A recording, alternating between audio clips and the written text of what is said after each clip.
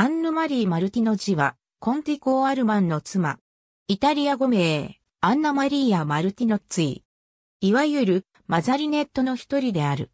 ファーの方白ジェローラモ・マルティノッチと、妻ラウラ・マルゲリータ・マッツァリーニの長女として、ローマで生まれた。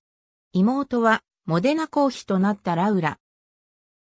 母の妹ジェローラマ・マッツァリーニの産んだ娘たち、ラウラ、マリーヤ、オリンピア、オルテンシア、マリーア・アンナはいとこにあたる。